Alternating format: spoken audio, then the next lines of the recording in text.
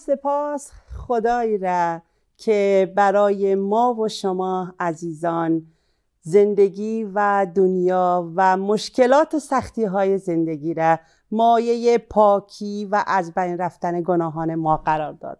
خدای مهربانی که برای ما مهلت داد که در این دنیا بیاییم و خود را پاک کنیم و آینه دل و قلب ما را با نور ایمان جلا بتیم عزیزان همیشه همراه سلام. سلام های گرم ما را پذیرا باشین. امروز تقدیم می‌کنیم به همه شما عزیزان برنامه روشنا را.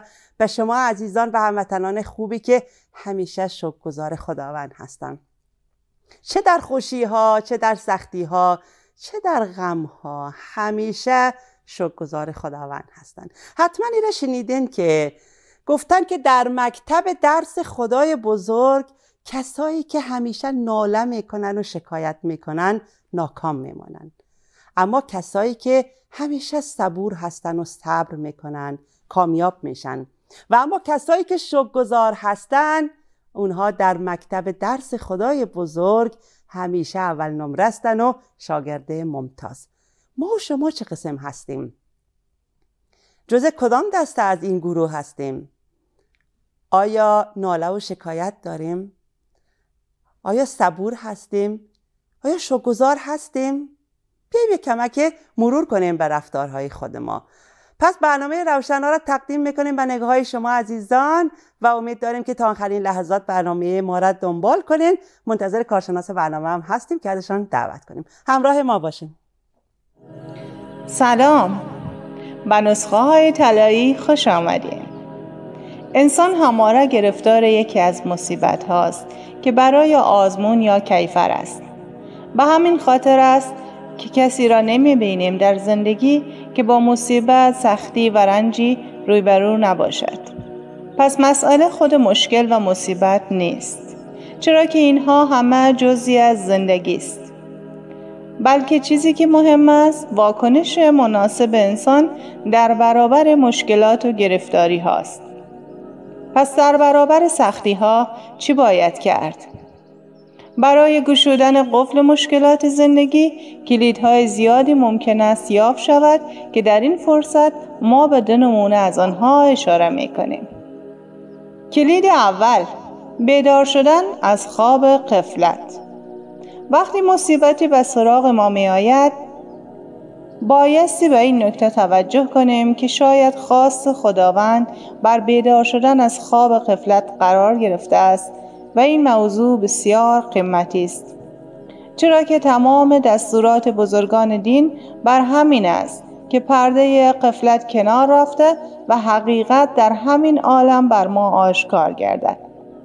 خب مصیبت هایی که به سراغ آدمی می آیند می تواند مشکلاتی را نیز متوجه بشر کنند اگر بدانیم و متوجه باشیم که خداوند خواسته است مرا از خواب قفلت بیرون آورده و من از این خواب بیخبری بیدار شوم ناخوشی ها برای انسان به خوشی تبدیل می شوند. کلید دوم باید بدانیم که مصائب و مشکلات کفاره بعضی از گناهان ما در دنیاست. در تنور مشکلات و گرفتاری هاست که بار سنگین گناهان ما سبکتر گشته و در عالم برزخ و آخرت یا مجازات نمی شویم یا کمتر تنبیه خواهیم شد. این نیز بسیار با ارزش است. در واقع این لطف الهی است که شامل حال ما بندگان می شود. چرا که آتش دوزخ با آتش دنیا زمین تا آسمان فرق می کند. پس اگر ما گناهی کردیم و نوعی از گرفتاری برایمان پیش آمد و بعد از آن توبه کردیم بدانیم که خداوند خیر ما را خواسته است و خیر خدا بر این است که توبه کنیم درک همین نکته ناخوشی ها را برای ما به خوشی تبدیل می کند بله بسیار خوشحال میشیم که شما عزیزان مثل همیشه که بیننده برنامه هستین حتما با ما در ارتباط هم باشین. نمبر واتساپی رو براتون میگم مثبت 964 780 255 40 13 و می‌تونین از طریق فضاهای مجازی حتما ما را دنبال کنین. و اما موضوع برنامه امروز پنجشنبه ما. شما عزیزانی که دنبال می‌کنید برنامه ما را از هفته های قبل می‌فهمین که امروز موضوعی برنامه ما چی هست و ما در رابطه با رمز و رازهای زندگی صحبت می‌کنیم همراه شما که یکی از اونها علتها و حکمتهای سختیها و مشکلات است. بسیار موضوع مهم حساس و زیبا در زندگی ما چرا که ما همیشه در سختی ها و مشکلات هستیم. نمیشه بگوییم که ما همیشه در رفاه هستیم. سختی و مشکلت معنی نداره. هیچ وقت همراه ما نیست. این گپاره ما نمی‌تونیم بگوییم. چرا که حتما و حتما در زندگی ما سختی ها مشکلات خوبی ها خوشی ها فراز و نشیب همیشه هست. و اما میایم می‌پردازیم به ای که علت ها و حکمت های این سختی ها و مشکلات در زندگی ما و شما چی هست؟ خواهر خوب ما خانم فتحی عزیز در کنار ما هستن در استودیو. سلام علیکم می‌کنیم و خوش آمدید میگیم.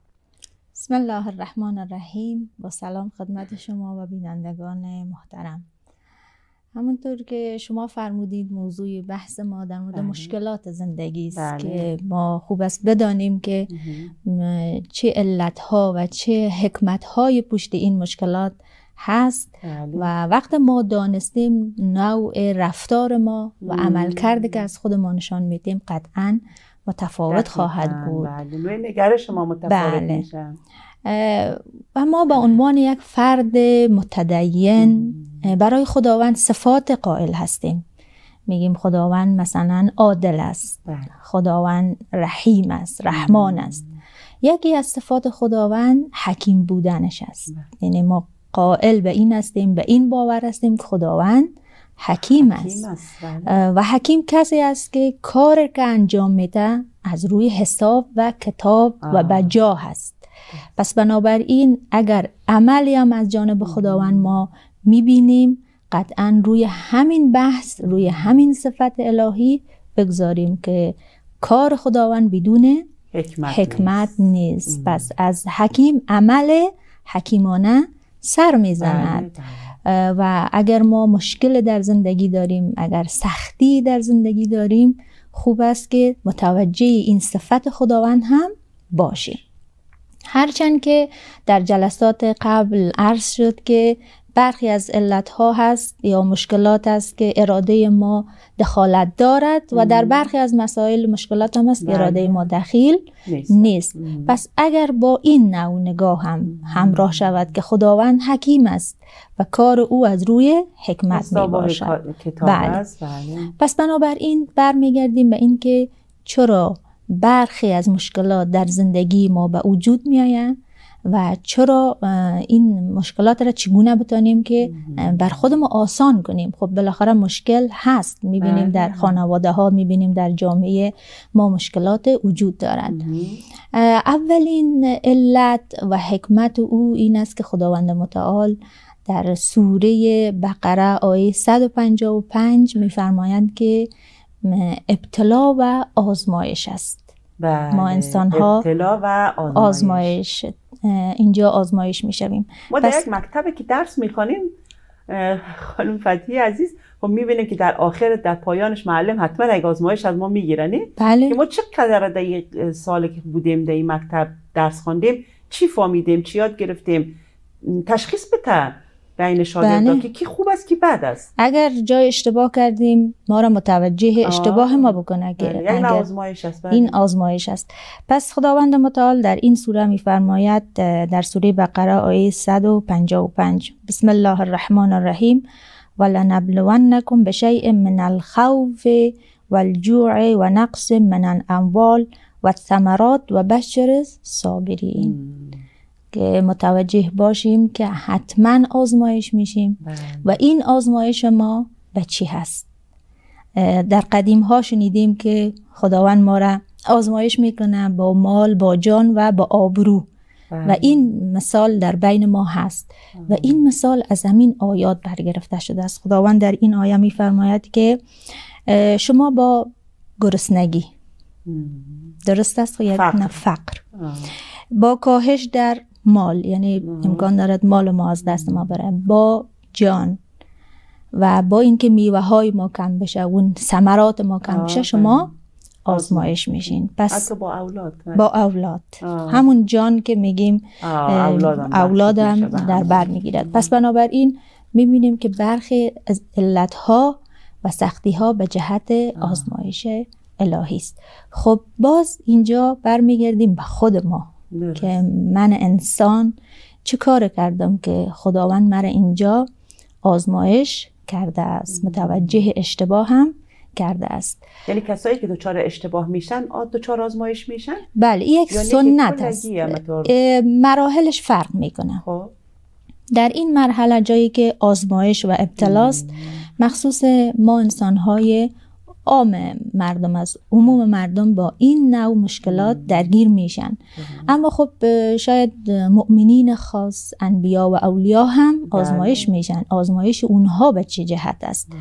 در اینجا آزمایش ما به این صورت است که ما در گذشته خود ما یک کمی و کاستی یک گناه مرتکب شدیم. خب. اما این گناه را جدی نگرفتیم. سعی نکردیم این کوتاهی خودمان را جبران یا بکنیم توبه کنیم. یا همون توبه بکنیم. پس اه، اینجا خداوند ما را می‌فهمد که این بنده خوبی هست. یعنی سعی ما بر این کار هست که بنده خوب باشیم. اما خب یک نقص های یک کاستی های در زندگی آه. بله داریم. در اینجا خداوند ما را تنبیه می کند یا آزمایش می کند که البته متوجه این امر باشیم که ما وقت تنبیه را به کار می‌بریم کلمهشه به این معنا نیست که تنبیه انتقامی باشد یعنی خداوند از ما انتقام می‌گیرد. نه به معنای تنبیه به معنای هوشیار کردن آه. بیدار را- کردن ما را بیدار. می‌کند. بله که اینجا شما این مسیر که میرید اشتباه هست چون بنده خوب هستید دارین کارهای خوب انجام می‌دید اما خب شاید خوردریزه هایی در زندگی ما باشد و خداوند با این آزمایش که حالا در جان ماست در مال ماست ما را می‌خواد متوجه اشتباه ما بله. بکند شاید این اصطلاح هست که میگن که اگر کس اشتباه کرد گوشش می‌گیریم و او را گوشش یک تو میتیم که بیدار شوه مثلا از این اشتباهی که کرده. این این میگن اصطلاح نوازش درمانی در روانشناسی. بله. یعنی یک تذکر بجاه طرف را از خواب بیدار می‌کنه.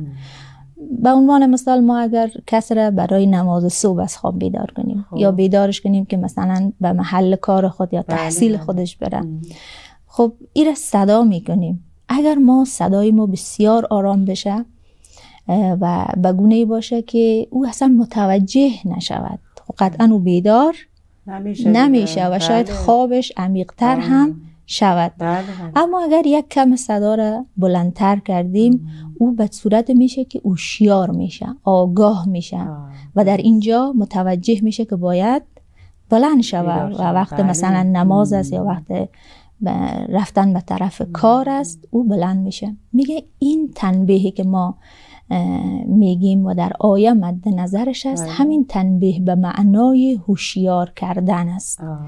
خداوند ما را با یک مسئله که یک سختی که در زندگی ما به وجود میاره به این جهت است که ما رو می‌خواد بیدار بکنه بله. و خدای نکرده از روی انتقام نیست که حالا ما. بالاخره بنده هستیم و بنده هم بعض وقتا اشتباه و خطای در بله زندگی دیگه. خود انجام می‌دهند یعنی اگر انسان ها همیشه مثلا در رفاه باشن همیشه در خوشی ها باشه مطمئنا دچار غفلت میشه بله دچار فراموشی میشه و او اصل زندگی را که در او مثلا باید رشد باشه توبه باشه نمیفهم دوری از گناهان باشه و همه مسائل رو فراموش می‌کنن؟ بله.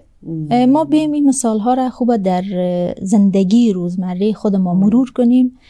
قطعا این مسئله بر ما قابل فهم میشه می‌تونیم براحتی این سختی را. تحمل بکنیم و بدانیم که نتیجه عمل خود ما هست و ما باید رفتار ما تغییر بدم به عنوان مثال اه، کارشناسایی که در مسیر راه هستن این خب. در مورد سرک ها و اینها نظر میتن می‌گویند که اگر یک سرک که بسیار مسیر طولانی داره و اون را میگیم جاده یک شهر مثلا به شهر دیگه وصل می‌کنه اگر هموار و سالم باشد یک دست باشد.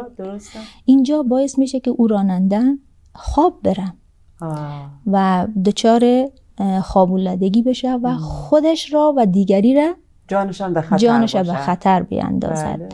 کارشناسان نظر میتن که در اینجا یک دست اندازهای مصنوعی ایجاد بکنیم تا این فرد هوشیار باشد که دچار خواب اگر هم که در خواب باشه با او دست اندازها بیدار شود. حرکاتی که هست او از خواب میپره بیدار, بیدار می شود میگه شما در زندگی خودتانم همین مسیر را در نظر بگیرید که امکان دارد ما خدای نکرده اشتباه بکنیم بله. و همین مسیر را ادامه بدیم. چون که سعادت ما در گروه یک زندگی سالم است. اگر زندگی باشد که اشتباه باشد و بر اساس یک عادت اشتباه همین را ادامه بدیم قطعا اون سعادت ما از ما گرفته خواهد شد. و چقدر اینجا خداوند ارحم راهیمین است. بله. که ما رو به ما حال رها نمی‌کنه به فکر ماست. بله. همین سختی ها رو در جلوی رای ما قرار میده در پیش رای ما که ما به خود بیاییم بله. بفهمیم در یک لحظه که ما چی می‌کردیم در کجا هستیم به کجا میریم. بله.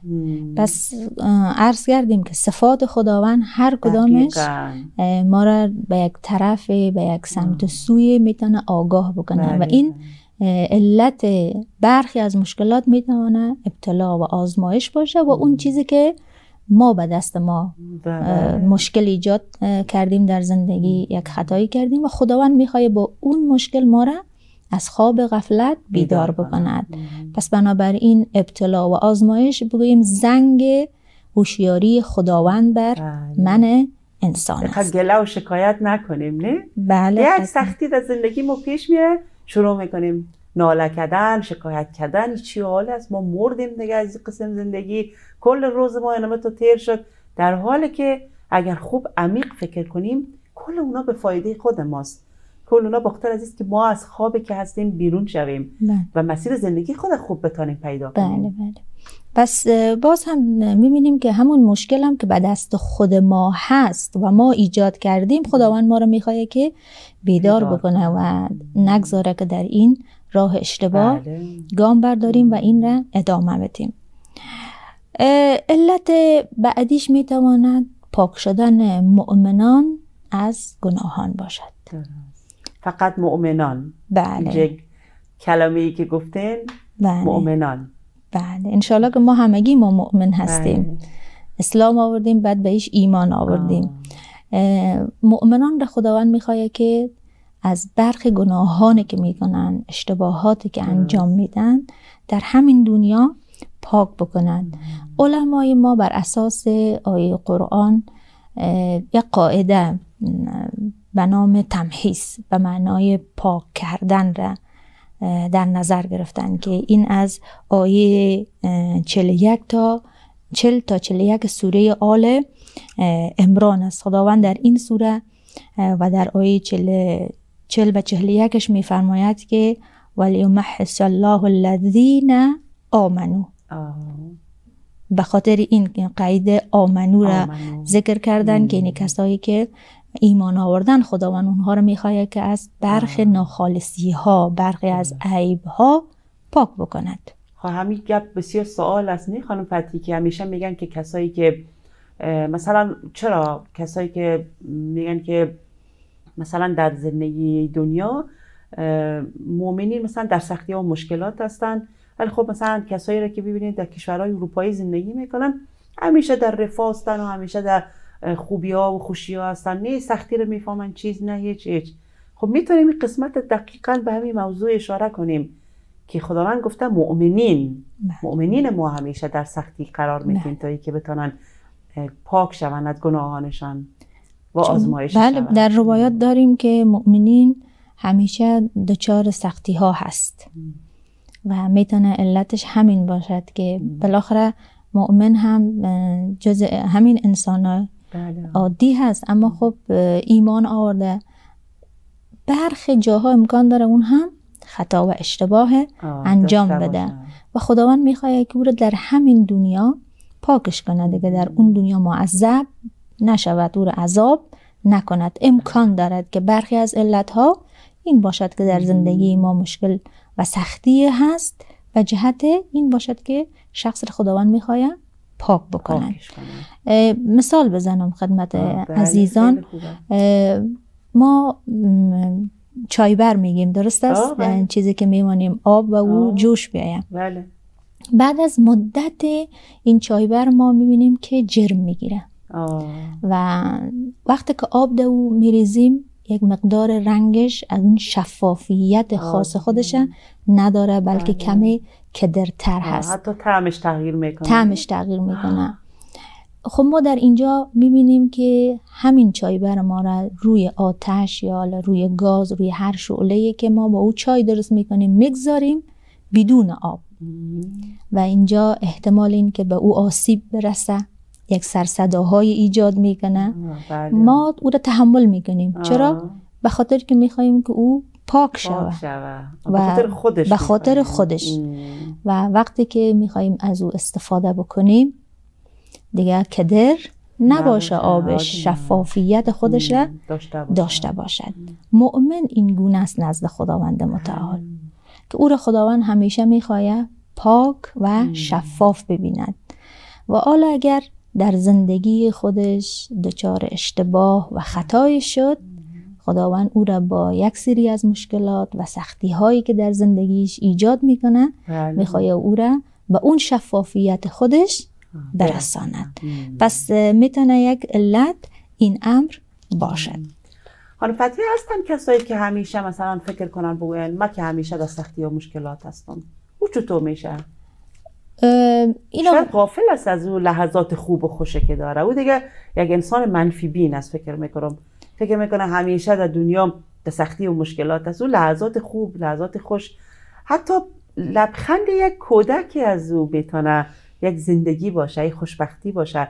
او معنی خوشبختی و معنی طعم خوش زندگی را متوجه نیست صد چون یک انسان نمی‌تونه دائم در سختی و مشکلات باشه. درست؟ بله. برخی ما به این گونه هستیم که بیشتر زندگی دیگران را نگاه می‌کنیم.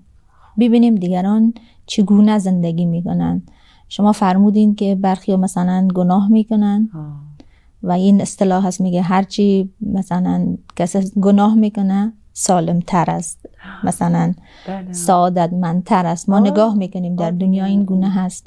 روی از این مسئله ما در جلسات بعدی بحث خواهیم کرد که چرا یک عده هستن با وجود این که گناه می‌کنن اونها در رفاه هستن. سالم تر هستن. و ما که خودمان مؤمن می‌دانیم مسلمان می‌دانیم همیشه دچار مشکل هستیم. همیشه مثلا خدای نکرده میگیم بدبخت هستیم. چرا ما این گونه هستیم؟ یک علتش می‌توانه این باشه که خداوند اونها رو به حال خودشان واگذاشته. اونایی که در سعادت و بیش از حد شده بیش از حد شده. یا می‌تونیم بگوییم مؤمن نیستن مؤمن نیستن. قرآن گفته بله. و ما که مسلمان هستیم ما که مؤمن هستیم. خداوند می‌خواد که ما را متوجه بکنه در همین دنیا در همین دنیا ما را پاک بکنه. بله. البته این به این معنا نیست که مثلا ما بگویم خب ما به دست خود ما پس بیم بر خود ما مشکلات ایجاد بکنیم. قطعا این گونه نیست. یا همیشه به فکر همی باشیم که در جگرخونی و غم و اندو و سختی باشیم. خیر. به این معنا قطعا نیست. این است که ما سعی خود ما را کردیم به عنوان یک بنده که زندگی خوب داشته باشیم. هر قانونی که خداوند متعال گفته بله. اجرا کردیم در زندگی ما. قانون طبیعت هم نقض نکردیم. اما با این وجود می‌بینیم سختی های هست. برمیگردیم به گذشته ما می‌بینیم شاید ما یک جاهای کم گذاشتیم کوتاهی های انجام دادیم. حالا می‌خوای خداوند ما را متوجه این اشتباه ما بکند؟ یا ما را تنبیه می‌کند تنبیه به معنای اوشیار کردن که میشه ابتلا و آزمایش درست. که یکی از سنت های الهی است. یا این است که مؤمن را خداوند می‌خواد که همین دنیا پاک شود و در اون دنیا عذاب نبیند.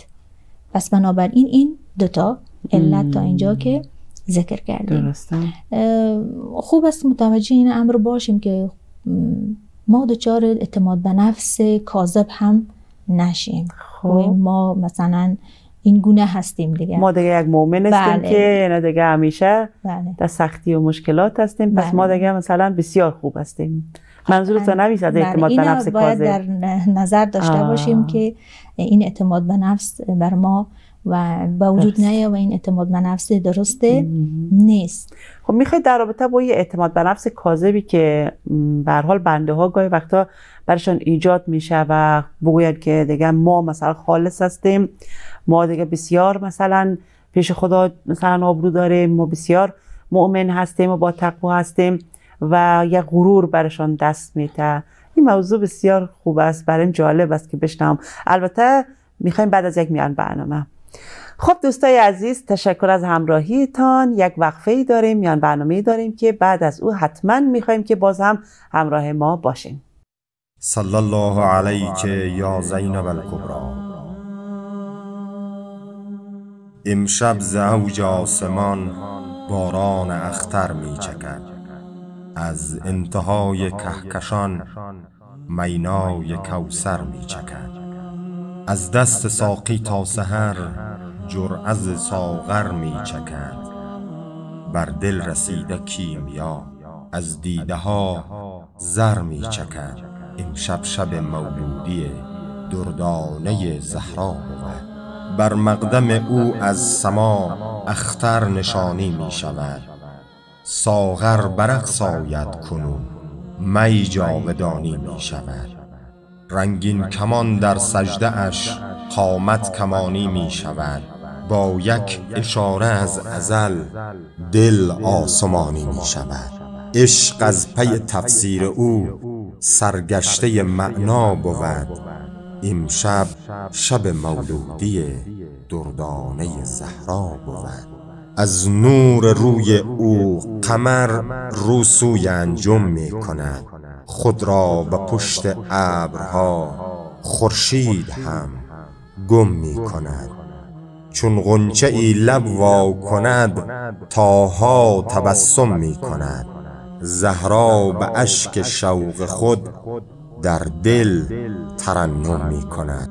او زیور هفت آسمان و زینت بابا بود.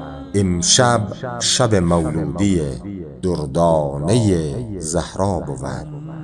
شد از همکنون صبر عالم واله و شیدای او. شمس و قمر پروانه ای بر چهره محتاب او. او بیقرار و در کنارش جد و مام و باب او تا آن که آغوش حسینش می شود محراب او. در عشق او پیغمبر فرهنگ آشورا بود. امشب شب مولودی دردانه زهرا بود. فرخند میلاد با سعادت عقیلت العرب و عقیله بنی هاشم حضرت زینب کبرا سلام الله علیها مبارک و فرخنده باد. خب بیننده های عزیز برنامه روشنا باز هم خوش آمدید میگم به شما عزیزان. بسیار خوشحال هستیم که شما عزیزان هم مثل همیشه همراه ما هستین. اما در ادامه صحبت ها علت ها و حکمت های سختی ها و مشکلات در زندگی ما و شما. این موضوع برنامه ما هست که نسبت به این موضوع خواهر خوب خانم فتحی اینجا در استودیو آمدن و صحبت های بسیار خوبی را تقدیم شما داشتن. و اما پی می‌گیریم این موضوع را و این صحبت ها را و رسیدیم به این موضوع که گاهی وقتها بسیار از انسان ها دچار اعتماد به نفس کاذب میشن و این باعث میشه که گناهان خودشان را سبب بشمارن. حالا یک صحبت بسیار خلاصه هم در این مورد می داشته باشیم. خانم فتحیم خب گاهی وقتا مثلا انسان ها یک اعتماد به نفس کاذب پیدا می‌کنن فکر می‌کنن خود دیگه من یک آدم هستم بسیار با تقوا بسیار بسیار مقید هستم نسبت به همه امورات زندگی و خب همیشه هم در سختی ها و مشکلاتم هستم. این چه قسم گپ میشه؟ بله. اعتماد به نفس کاذب میدانه برای دو نفر صورت بگیره. یعنی کسی که مؤمن است و دچار سختی و مشکل است و فکر می‌کنه که دیگه خدا او را بسیار دوست داره و شاید اینجا غرور به سراغ او بیاید. درست. شاید غفلت بکنه و نره دنبال راه حل این که مشکل باید حل بکنه. بله. یعنی اگر ما در زندگی دچار سختی و مشکلات میشیم اما تو نشینیم. باید به دنبال رفع از اون بله بله قطعا به همین صورت است. به همین جهت میگن ایره اعتماد به نفس کاذب. فکر می‌کنه که خداوند پس خیلی دوست داره. خدا خواسته است. و ما را از یعنی حرکت باز میمانه بله.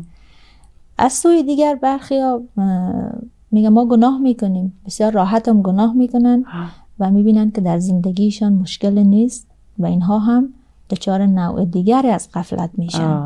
و. حتی مؤمنین را به اشتباه مندازن که پس نگاه کنید زندگی فرد را که ادعا می‌کنه که من انسان خوب هستم و راحت هم گناه می‌کنه همیشه هم در بدبختی است. بله. پس بنابراین متوجه این امر باشیم که اگر سختی سراغ ما آمد به دنبال رفع اون باشیم و به خود ما غرور نکنیم که ما مؤمن هستیم و خداوند ما را در این آزمایش ها و ابتلاها قرار داده است. یعنی خانم فتحی مثلا وقتی یک سختی و مشکلات وارد یک جامعه میشه یا وارد یک خانواده میشه تو نشن که بگوین که دیگه راضیم به رضای خدا دیگه این می گپ هست دیگه چی کنیم دیگه؟ باید بشینیم بسوزیم و بسازیم. قطعا به این معنا نیست.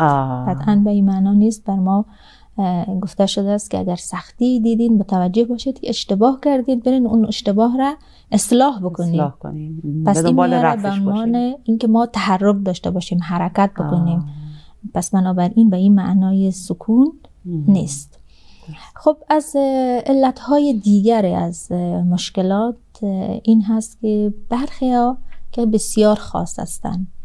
اولیاء الله هستند انبیا هستند. شاید این سوال برای بیننده عزیز ما پیش بیه که خب پس می‌بینیم در زندگانی پیامبران یا امامان علیه السلام بسیار سختی هست اینها خودشان هم وقتی که به زندگی خودشان نگاه می‌کردن کوچکترین اشتباه ندارن. خب بالاخره اونا از جایگاه خاص بله. بهرمند هستن. یا مؤمنین بسیار خاص که اونا رو ما میگیم اینا اولیاء الله هستن. بله. بررسی می‌کنن در زندگی خودان می‌بینن که نه ظلم کردن نه حق الهی رو زیر پا گذاشتن نه در مورد زندگی شخصی یا جمعی خودشان کوتاهی کردن. اما دچار سختی ها و مشکلات هستند. بله. پس این گونه مشکلات چی می شود در اینجا میفرمایند که این گونه مشکلات درجه است ترفیع است. برای برخی از بندگان خاص خداوند.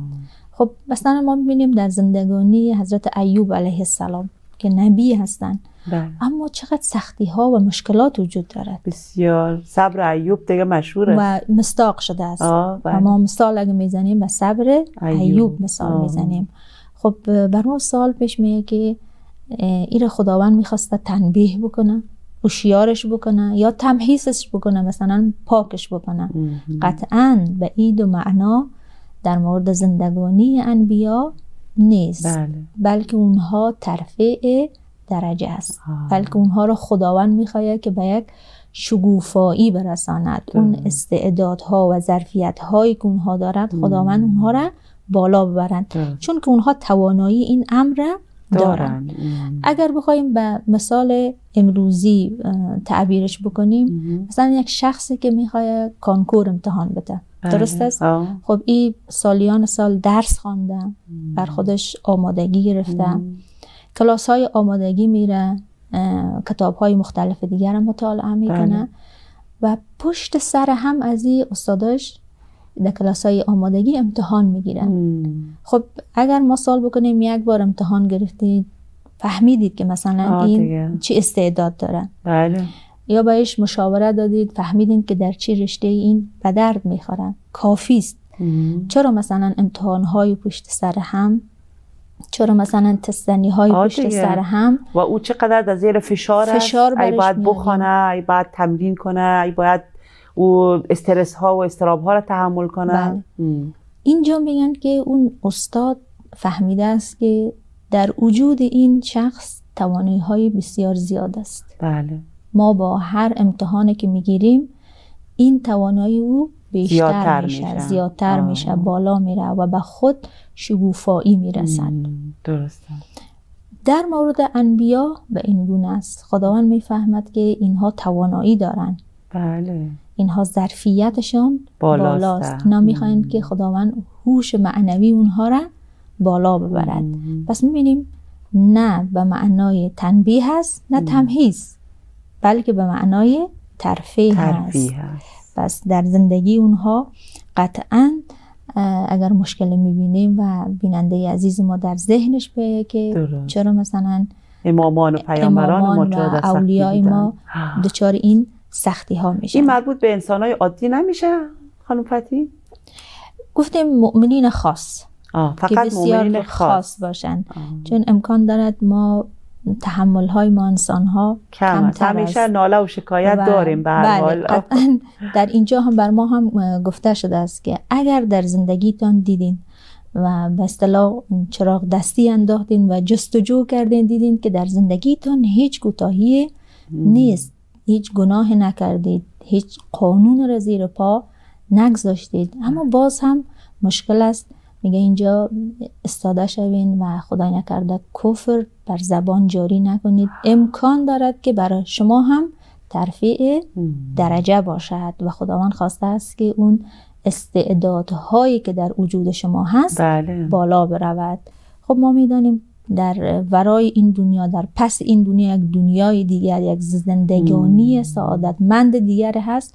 شاید خداوند خواسته ما را برای او زندگی آماده بکند و در این دنیا هم می‌دانسته که ما با این سختی ها کم نمی آوریم و طاقت ما بالاست. پس امکان دارد که برخی ها بله. سختی هایشان به این جهت باشد و. جهت دیگری نداشته باشد فتی پنج دقیقه فرصت داریم ما. بله. و آخرین دلیل البته دلایل زیاد است بله. و ما به همین مقدار کفایت می‌کند توضیح دادیم خدمت عزیزان. آخرین دلیلش این است که انسان می‌تواند در دامن برخی از مشکلات پرورش پیدا کنه و رشد بیابد. به عنوان مثال زندگانی نوابغه که میگه ما نگاه می‌کنیم. اکثر اینها دچار مشکل بودن.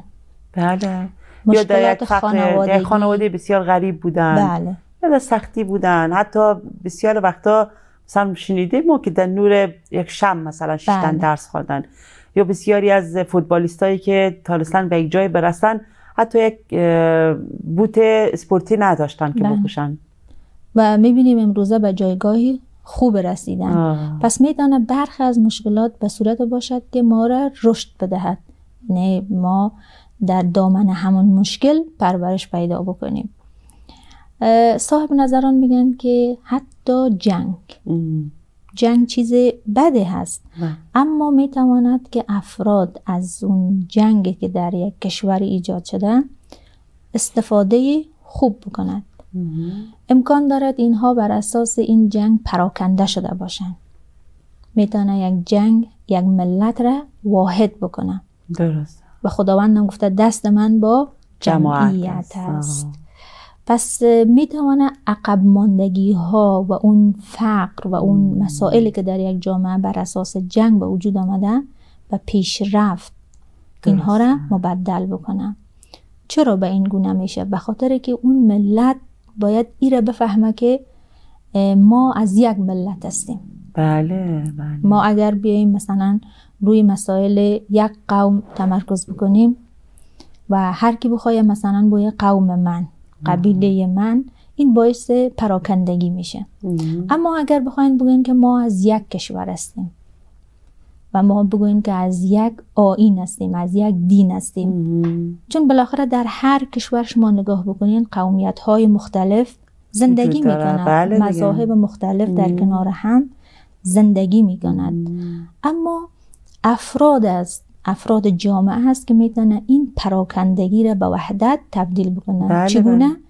به این جهت بگن که ما چون از یک کشور هستیم برای دفاع از کشور خود ما باید بله. بیایم بجنگیم نه بله. مثلا از یک قومیت یا مثلا نه برای مذهب خاص بیم از یک آین به اسم دین اسلام دفاع بکنیم بله. بجنگیم پس اگر ما وحدت پیدا بکنیم از یک جنگ از یک سختی بالاخره جنگ مشکلات خودش داره مصائب درصد. خودش بله، داره بله. می‌تونه افراد استفاده بهینه از اون مسائل بکند خب ما این در عصر حاضر داریم اگه کس تاریخ را مطالعه بکنه ببینیم در کشورهایی که در اطراف ما بودن جنگ هایی بودن اما اینها از همون جنگ به نحو استفاده کردن که بله. به یک وحدت و یک پارچگی رسیدن و درست. به یک رشد رسیدن ام. پس می‌تونه انسان از جنگ یک چیز بدی هست یک سختی بسیار آه. زیاده است خوب استفاده کنه درست. مهم این است که متاسفانه واکنش های افراد در جوامع مختلف است. بله. بعضیان وقت جنگ در این کشور تحمیل میشن دچار ضعف میشن دچار یأس پراکندگی میشن میشن. دچار پراکندگی میشن. بله. اما برخی خوب استفاده می‌کنن. از همون چیز بعد با این به یک وحدت تبدیل می‌کنن. بله. یک رهبر واحد لازم است. بله. بس بنابراین هرچند که میگیم جنگ چیز بدی هست و سختی داره بر انسان می‌تونه انسان از او استفاده خوب بکنه و همینطور می‌تونه در زندگانی شخصی خودش و عرض شد که وقت نوابق نگاه می‌کنیم اینها ما داریم که فقیر بودن و بله. بعضی آنها یتیم بودن این مثلا درسته. پدر در خانواده نبوده است و حتی برخی مشکلات شخصی داشتن مثلا زبانشان بله، لکنت بله. داشته آه. اما از این نواقص از این مشکلات از این سختی ها به گونه استفاده کردن که رو به رشد و جلو حرکت بله کردن. بسیار عالی تشکر می‌کنیم خانم فتی. تشکر از صحبت های خوبتان بسیار استفاده بردیم و بیننده های عزیز ما هم حتما استفاده های لازم بردن. از حضور شما خدافزی می‌کنیم. خب عزیزان بیننده از جهان سپاس از حضور گرمتان و امیدوار هستیم که در این لحظات حساس در این لحظات بزرگ که وقت اذان هست وقت مناجات با خدای بزرگ بیاییم و با خدای خود ما پیمان ببندیم و شکرگزار نعمتهای او باشیم. تشکر از همراهیتان و خدا نگهدارتان.